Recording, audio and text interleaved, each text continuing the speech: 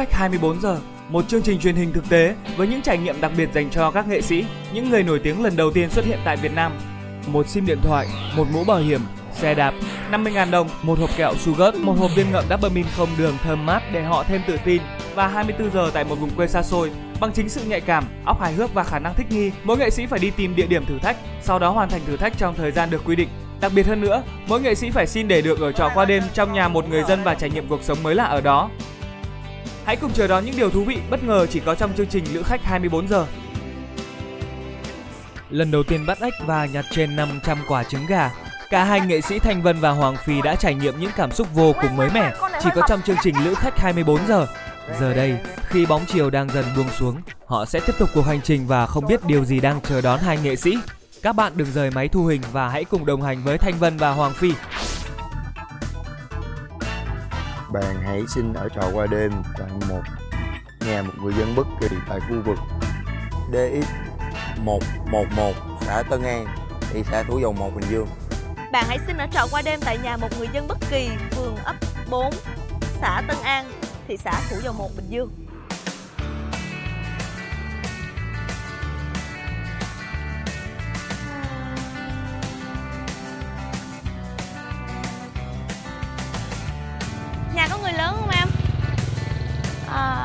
Có thể gặp ai đó trong nhà được không?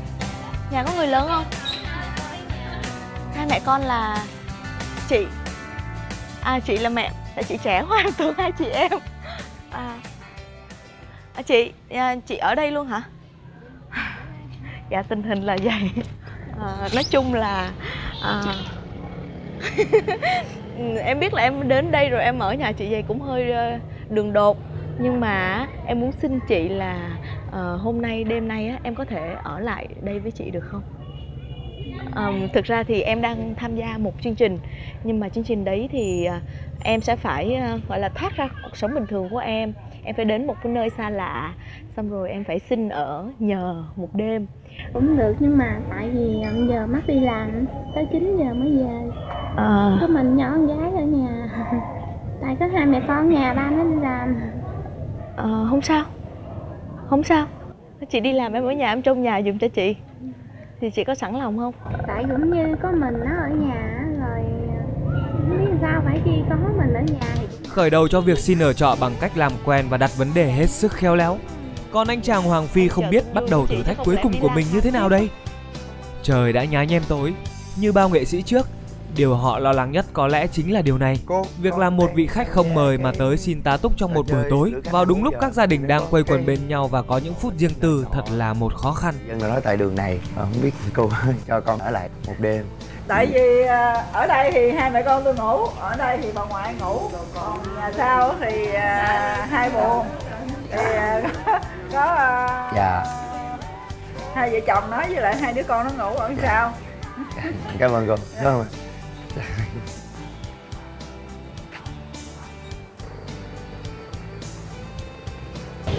chị hỏi mà quại mà quại nói chắc không được tại vì tối nay quại ra ở cái nó mà quại thì bà cũng khó tánh bà không có muốn mấy chị ở bên bên đây cũng được bên đây cũng đông lắm đây thì cũng có hai vợ chồng mà như ở nhà chứ không sợ bị đuổi nữa. Không sao đâu.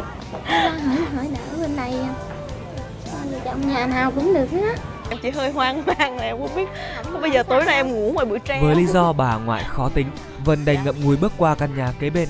Hy vọng tình hình của cô sẽ khá hơn. dạ. Hả? dạ.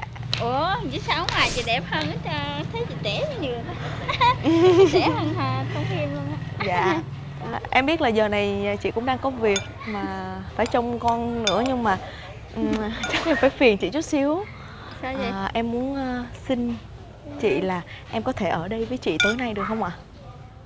Em biết là điều này cũng hơi bất ngờ. Sợ không tiện giờ Tại em bé em nè. Dạ. Dạ.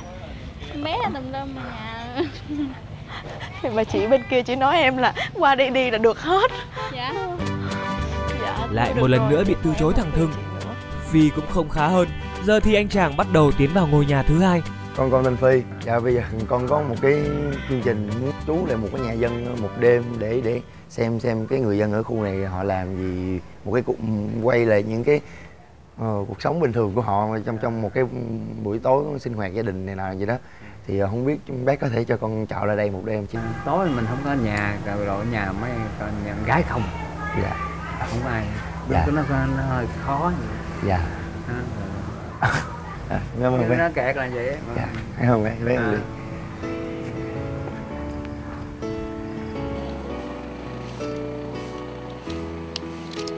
ăn bổ sung miếng tự tin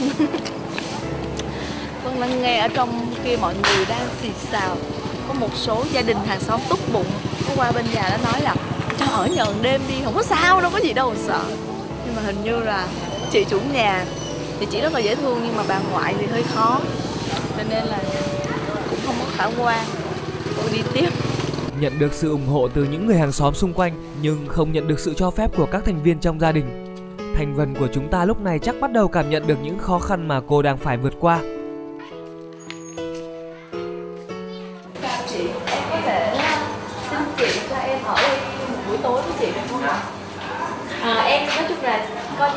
Em thôi em ở đây. Tại vì cái thử thách của em á, là em phải xin ở trọ được ở một nhà người dân xa lạ mà em không có có người thân thích. Thì em chỉ ở trọ đây để từ đây đến sáng sớm ngày mai là em đi rồi. Và em không phiền ờ, đến cuộc sống của của gia đình. Chị cứ thoải mái em có thể làm việc nhà rất tốt. Em là siêu nhân rửa chén và giặt đồ em có thể giúp chị. Đó là để hỏi là ông xã cơ chị có em hả? Chị chờ chút xíu không? Cảm ơn chị. Chuyện gì vậy nhỉ? Ồ, hóa ra là chị chủ nhà ban nãy. Thật bất Đồng ngờ ý là hả? khi người đồng ý cho Vân ở lại là bà ngoại. cảm ơn chị. Con chào ngoại. Ngoại cho con ở nhờ đêm nha. Được không ngoại? Cảm ơn ngoại. Ngoại dễ tính mà đâu có khó đâu xin ở trọ lại một đêm ở đây được không bác cho con hỏi là con có thể xin trọ lại đây một đêm không bác con xin trọ lại một đêm. Hỏi hỏi chính quyền đó. Chú là ở trong ban điều hành ở đây. Có một cái là vấn đề là nếu mà có cái gì cũng phải thông qua. Dạ. À, đó. Một mình mình ờ, nói cho đúng là ở trong Không may mắn như Vân, nhận được nhiều sự từ chối với lý do phải xin phép chính quyền trước. Anh chàng lại tiếp tục hành trình gian khó. Giờ phải lên xin ủy ban trời ơi ngoại đi bộ từ ngoại vô đây. Trời ơi chị không không không cái anh Thì ra, khi nghe cô con gái kể về chuyện có cô diễn viên đến xin ngủ lại, bà ngoại liền tức tốc đi bộ từ đầu đường vào kiếm cho bằng được để kêu cô gái về nhà mình. dạ con hỏi ra ngoại Ngoại hả? tuổi rồi. 77 tuổi 77 rồi. Vội ngoại mệt không? Thì quay đây tập thể dục ngay chứ. Rồi đi lúc kia kia vào cái rồi. Đây là đúng rồi Cái nhà từ con đang lo nó chết rồi. Kiểu này đêm nay chắc con ngủ bụi quá. Để lạ lạ khó lòng lắm. Dạ. Nói với bà giờ bà không có đâu bà tự tới để con mấy người con khác lòng. Dạ. Con ở rồi người là rồi người khác. Tại vì Lên. thực ra đây là lần đầu tiên. Ừ. Lần đầu tiên mà con đi xin ở trọ ở một nhà mà con không hề biết. À, còn đi một mình nữa. À.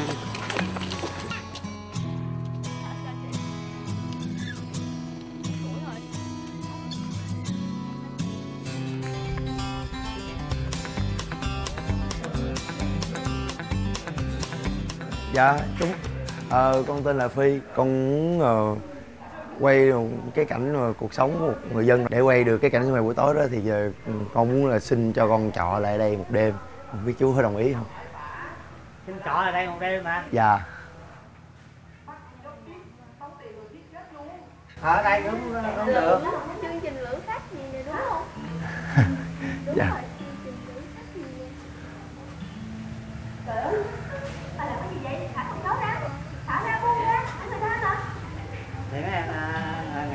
ra nghỉ đây dạ nghỉ lại một đêm thì ờ, muốn quay lại cảnh sinh hoạt của nhà mình vậy thôi. Dạ. Không biết được không chú dạ được được. Một sự chấp thuận nhẹ nhàng cũng đủ khiến anh chàng mừng rơn. Thích thú với sự có mặt của anh chàng, nhưng hình như cô bé hơi mắc cỡ.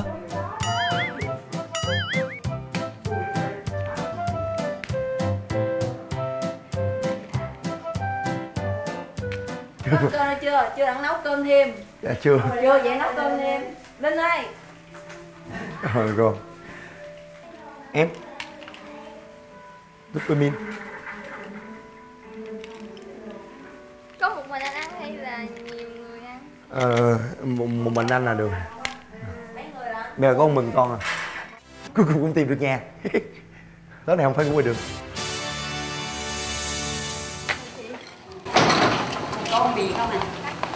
từ đó lại đây. Từ hồi đó lại đây. Ừ à con không. Hiện nay nhà mình đang ở mấy người ngoài hả? Hiện nay ở nhà mình đang có Ở đây ở mấy người có người. À. Có hai mẹ con đó dạ. Con đi làm á mã tăng ca đó. Dạ. Với đứa con? là ở ở đây luôn không hay ngoại ở cái bên. Quả- à, quậy ở kế đó quậy ở bên đó. Ở mặt trước. Nó ở mặt sau. Con này cũng con nữa nè. Cũng ở đây. Nhà đây. Dạ. Con không à sinh con thì con không gì không cuối cùng thì cũng đã vượt qua được thử thách thứ ba. Em hả? Nghe không? Mưa mưa. Mưa hả? Ờ, rồi, Em đang nghe, ở đâu? nghe rồi. Em đang ở ờ, đường DX 111 em vẫn còn ở ngoài đường hả? Không không em tìm được nhà rồi. Chị tìm được nhà chưa? Chủ nhà cho em vô ở không? Có có em xin được rồi. Ờ, ờ, nhà của một chú trong nhà có ba người đang đang nấu cơm luôn. Thôi ở vui vẻ nha. Dạ. Ở đó vui vẻ đi rồi ở rồi. là phải phụ uh, mọi người làm là việc nhà vừa chưa? xong là Không chơi luôn người đâu. Rồi vậy đi ha tối chị Rồi. gặp lại. Bye bye. Dạ rồi bye bye chị. Chào cô giỏi quá chào con con tên gì Con hỏi Banh Di hả? Tên gì Banh Di Banh Di không? Hả hải phong Em hỏi không? Hồi nãy con nói gì cái gì? Tên hải phong để nói đó tên tên tên em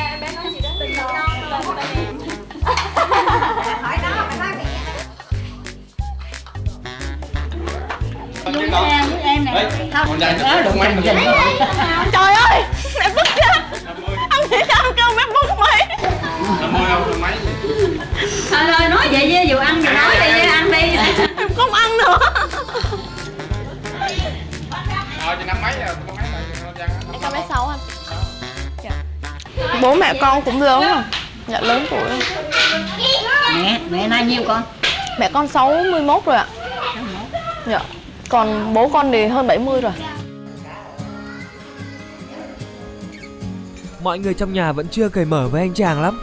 Bình thường anh chàng luyến thắng là thế. Sao lúc này e rè quá? hồi đó lúc mà lúc mà mới mới làm thì còn ăn nhưng mà giờ công việc nhiều quá. Ít bao giờ được được đủ vậy lắm. Thường là có mấy lần cũng cũng kêu mẹ chờ cơm về ăn nhưng mà không có về kịp nên à, không không kêu giờ nó cứ nhà ăn trước đi tối con về con cứ bới con ăn. Tự động thì với ông ít bao giờ mà ăn chung vậy đó từ lúc đi làm tới giờ. Nhưng mà theo con thì bữa cơm gia đình rất quan trọng luôn ờ, ngồi ăn vậy thì ba mẹ cũng nghe được con nói gì ví dụ như về chuyện học hành hay là cái gì đó. Để, để biết con mình hơn ờ, nó thì nó gần gũi hơn. Bây giờ anh trang chủ động gọi cho cô con gái lớn. Để xem cô gái phản ứng ra sao khi biết có người lạ ở lại nhà mình. Ờ, không mình mình tên là phi. Ờ, mình tham gia trong chương trình lữ, lữ khách 24 giờ á. Thì ờ, đang đang ở nhà của tú đang ăn cơm với lại ba mẹ với lại linh. Thì nãy ờ, linh có nói là lát nữa tú học xong tú chạy về đây phải không? Mình hay coi đó. Cái chương chương trình mà mà mà ờ, nghệ sĩ hay hay đi làm thử thách là xong rồi buổi tối xin xin người ta ở lại trong nhà một đêm để quay á. Ờ đúng rồi. Đâu à, mẹ hỏi là tú có về không? Chắc là em không về được á. Để có sao bất ngờ sao lại rơi trúng vào nhà của em? Ờ, cũng cũng không biết nữa tại mấy nhà kia không cho ở cho nên mới đi xuống đây nếu mà nhà em cũng không cho ở là anh đi xuống nữa đó. Trời bất ngờ Trời bất ngờ thiệt đó Không thể công nhận. Tại sao không về Ờ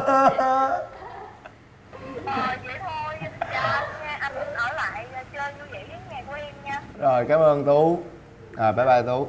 Rồi Rồi cảm ơn anh rồi Rồi chào anh ôi tôi được đổi tên thành anh tài xế. Anh tài xế giao đồ. Năm nay đã ở tuổi 75 Bà Trần Thị Bơ trông vẫn rất khỏe mạnh và minh mẫn. Bình thường bà vẫn phụ cô con gái lớn khâu áo gối Chủ động làm mọi việc trong nhà Và rất khẳng khái khi tuyên bố mình vẫn có thể tự chăm sóc cho bản thân Chính vì thế, mọi chuyện trong gia đình các con luôn tôn trọng và xin ý kiến bà Cụ bà nhỏ bé nhưng lúc nào cũng tươi cười, lạc quan này đã trở thành hình ảnh không thể thiếu của xóm nhỏ nơi đây. Sao? Dạ chị đang xin chữ ký Trời ơi em viết cái gì trong đây vậy? Lời bài hát hả? Lưng lên chữ ký ký thì đăng ký cho thân á. Từng phút bối rối trong vòng vân à Trong anh thoáng qua, Bao nhiêu mộng mơ đã vụt mất Chị cũng thích bài này lắm à em viết hả? Cái sổ này sổ của ai? Sổ của em không phải em viết Rồi bây giờ chị ký vô đâu được đây? Đây nha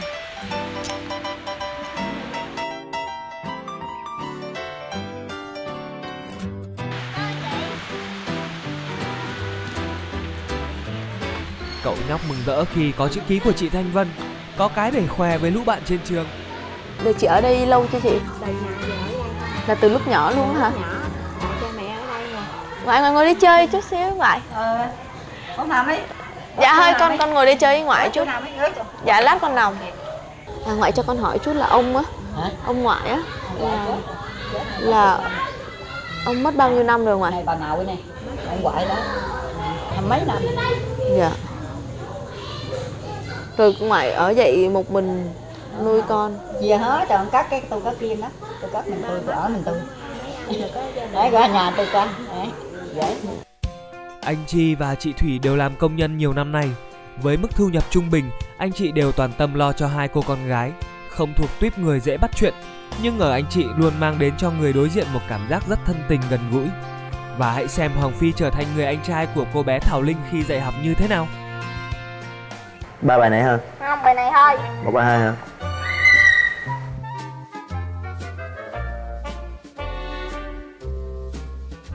Nè, Bài này cô giảng cũng kỹ kỹ Mình chưa có hiểu. Nói cho mượn cái cúng mà cô cô em đi bài tập. Bối rối khi đụng lại những công thức toán học lớp 6, lại thêm việc Thảo Linh liên tục chọc quê ông anh. Coi bộ Hoàng Phi gặp vấn đề thật rồi đây. Con là tìm ra cách giải rồi đấy nha. Làm cho anh quê mới được? Quê. Không nhớ nổi rồi đó.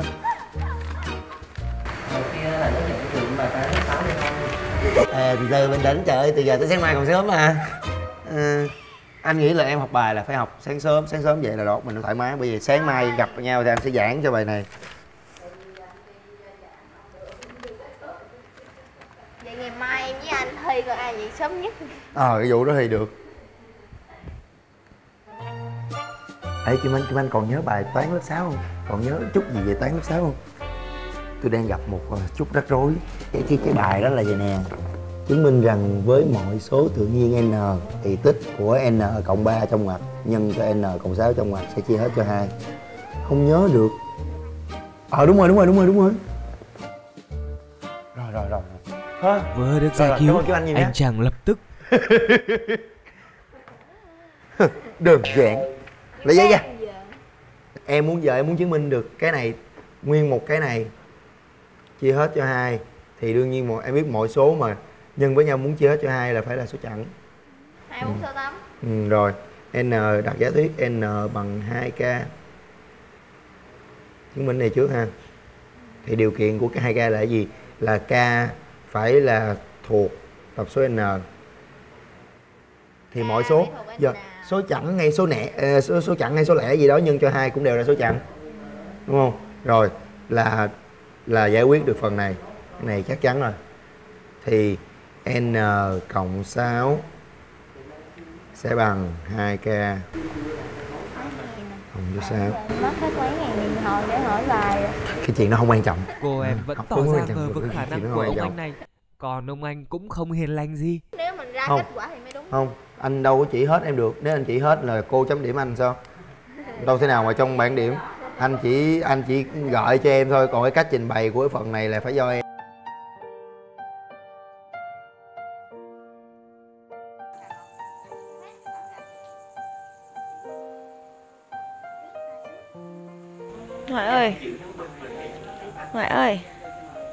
coi đi nha. Chắc con ngủ trước á. Con ngủ hả? Dạ. Sao con xuống dưới đây con thấy buồn ngủ bình thường con ở sài gòn con thức trễ nằm lắm. bên ngoại cùng nghe những câu vọng cổ có giấc ngủ dịu êm ấm áp len lỏi vào hai bà cháu. Hôm đó thanh vân đã có một buổi tối thật ấm áp và hạnh phúc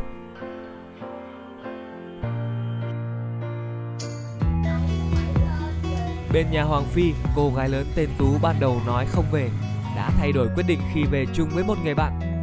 Phi làm quen với cả hai bằng những viên kẹo sô gốt dịu ngọt để bắt đầu câu chuyện với cả hai. Một ngày dài cũng đã sắp qua, giờ cũng là lúc phi xứng đáng thưởng cho mình một giấc ngủ thật ngon. Ngủ trễ hơn và dậy sớm hơn, anh chàng tình nguyện đưa thảo linh tới trường.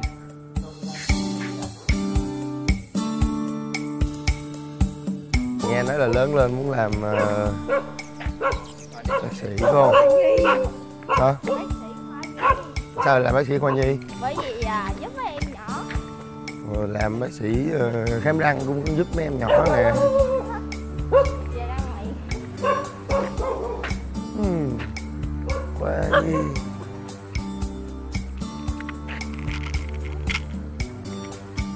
Hôm nay anh biết em tên gì Đoạn đường tới trường cứ nhận thêm niềm vui khi gia nhập thêm những người bạn của Linh. Quãng đường dần rút ngắn với những câu chuyện rôm rả. Giờ thì tới lúc chia tay Linh.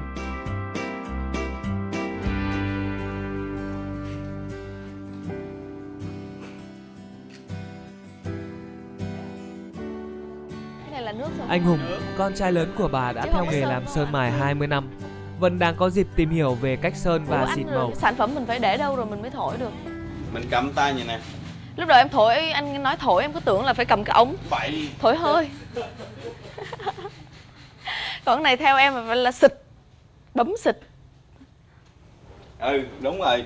Cái người ấy mình nói mình xịt rồi, rồi bên anh á là nó cầm hỏi cái gì. Hết anh hôn cái tay mình bóp cờ gì nè. Nhẹ lắm.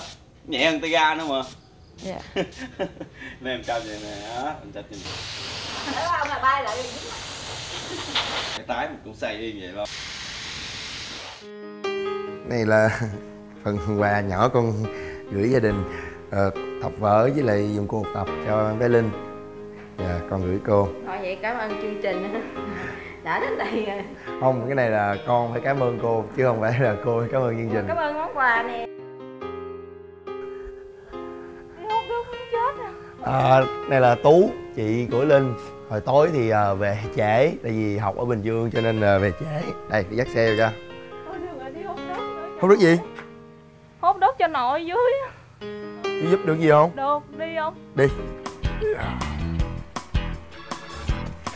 Suốt buổi sáng hôm đó, anh chàng tưởng chừng lúc nào cũng chỉ biết têu táo trên sàn diễn, bỗng trở thành một chàng mẫn cán thế này.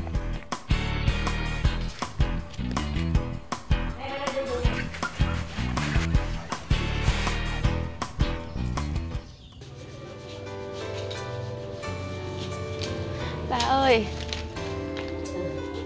Con ờ, con chào bà. Bây giờ À. con về sài gòn giờ đây. Sài Gòn rồi mai mốt có lên ghé nha không? Dạ Về đây nghe con không? còn ờ, Dạ. lên bình dương nhiều lắm. Dạ hả? Mai mốt con có thời gian con lên À. con sẽ À. đến thăm gia đình lần nữa à, lên được đây nghe không? Lên đây Dạ. ngày dạ. Con ngủ nữa ha. Ờ, lên ngủ đi. Con ngủ lại nữa nha. À, à. dạ. Ngủ dưới đất vậy. Cho mình giỏi.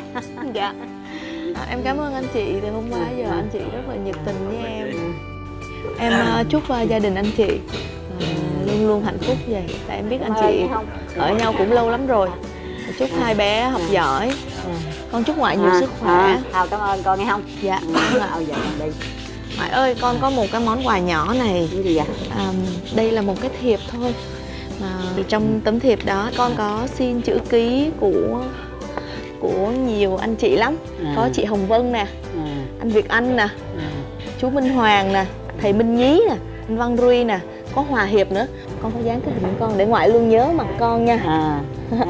để hình cho nhớ dạ À. thì con À. gửi tặng À. ờ, cho ngoại À. con gửi tặng gia đình thì coi như là khi mà mọi người nhìn cái này là sẽ nhớ tới em à dạ đây con con gửi ngoại nó phải mình, không? mình mình xem ở đây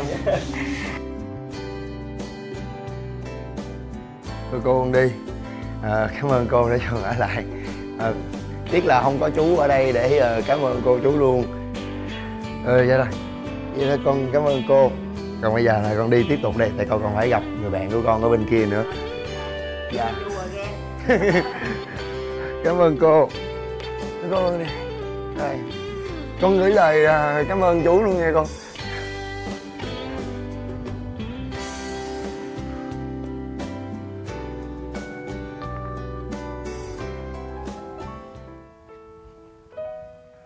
Để con đi, bye bye Tú. Em có hai hộp kẹo. Cái gì? Không cái tên gì? Dạ không sao. Đây là một hộp kẹo à, Là con thay mặt cho những người à, thực hiện chương trình. Con gửi tới tới ngoại một, một hộp kẹo nho nhỏ thôi. À, con con con gửi tặng ngoại còn một hộp kẹo là em gửi tặng chị. Hộp này là thực ra là cũng là món quà của em khi mà em tham gia chương trình. Đây, con nhờ chị giữ giùm à, cảm ơn Giang nha dạ món quà nho nhỏ thôi. Không dạ không cảm ơn. Dạ mai mốt rồi kêu rồi lên nè nha. Không dạ không lên cái bụi buồn. Không con con à. con sẽ lên mà. À, con ôm ngoại cái ha à, rồi con đi. à, à, ha. à.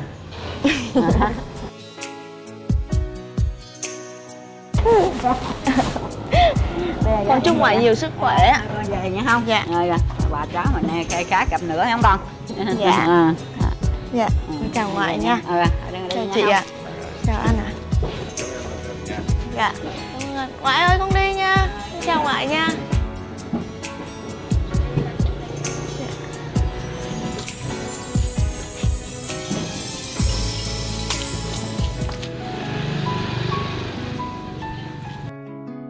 Cuộc đời là những cuộc gặp gỡ và chia tay. Tuy ngắn ngủi nhưng những tình cảm mà gia đình đã dành cho hai nghệ sĩ lại rất đỗi tình cảm sâu sắc, có luyến tiếc, có ngậm ngùi. Mỗi khoảnh khắc nơi đây sẽ trở thành ký ức đẹp trong lòng hai nghệ sĩ. Và có lẽ mỗi người dân khi tiếp xúc cũng cảm nhận được những nghệ sĩ của chúng ta cũng rất bình dị, cởi mở. Đó chính là một thông điệp mà Lữ khách 24 giờ muốn gửi đến cho tất cả khán giả thân yêu của chương trình. ủa chia tay ra gia đình sớm lắm hả Nhà bên nhà em đi làm sớm lắm 6 giờ ờ, 6 giờ bé nhỏ nhất đi học Rồi ờ, 7 giờ chú đi làm chúc mừng hai bạn đã trở thành nữ khách chính hiệu của chương trình.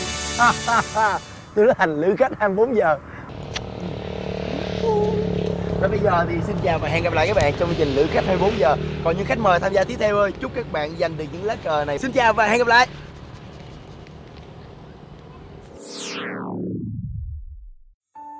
Thật sự con rất bất ngờ nữa khi mà được cô chú trở lại bởi vì ừ, lúc đầu thì không không có gì là lúc mà sinh mà chú cho thì cũng chỉ là vui thôi. Nhưng mà sau một buổi tối nói chuyện với cô chú về mọi thứ thì con nghĩ là ừm, con cảm thấy là người người dân của mình ở đây rất là chất phác.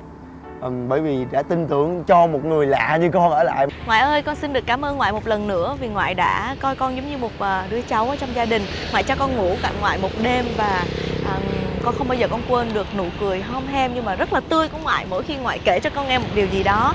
À, và con cũng không bao giờ quên khi mà con à, tạm biệt gia đình mình, ngoại đã đứng vẫy tay rất là lâu. nếu như mà không có ừm, sự đồng ý của chú thì chắc tối hôm qua là con ngủ ngoài đường rồi chắc chắn điều đó rồi vậy không con không biết nói gì hơn ngoài ừm, ờ, lời cảm ơn chân thành đến chú Chi và cô Thủy cũng như là tất cả những người trong gia đình và đó là những cái cảm xúc mà vân nghĩ rằng vân sẽ không bao giờ quên được vân sẽ tặng có hai món quà này vân cũng được gửi đến à, gia đình ngoại. À, một cuốn sách đó chính là quà tặng diệu kỳ từ cuộc sống. À, vân nghĩ rằng những à, cảm xúc trong cuốn sách này cũng sẽ phần nào đó giúp cho à, những thành viên trong gia đình sẽ quên đi những mệt mỏi trong công việc thường ngày và mọi người sẽ yêu thương nhau hơn. Và một cuốn sách nữa đó là hạt giống tâm hồn dành cho tuổi teen thì vân xin được tặng cho em bé gái trong già. Và Vân hy vọng rằng hai món quà này cũng sẽ để cho mọi người nhớ Vân nhiều hơn và Vân mong sẽ sớm được trở lại gia đình ngoại một lần nữa. À, và xin cảm ơn chương trình Lữ khách 24 giờ đã cho Vân một uh, chuyến đi với rất nhiều sự trải nghiệm thú vị. Và cũng xin cảm ơn uh, tất cả những uh, khán giả đang theo dõi chương trình uh, đã dành thời gian để trải nghiệm những cảm xúc đó cùng với Vân và Vân mong rằng Lữ khách 24 giờ sẽ à, nhận được nhiều sự ủng hộ từ những nghệ sĩ hơn nữa cũng như nhận được nhiều sự quan tâm từ khán giả nhiều hơn nữa. Một chuyến hành trình mới lại bắt đầu. Điều gì mà Lữ khách 24 giờ sẽ mang đến cho khán giả với hai nghệ sĩ Khánh Thi và Nhan Phúc Vinh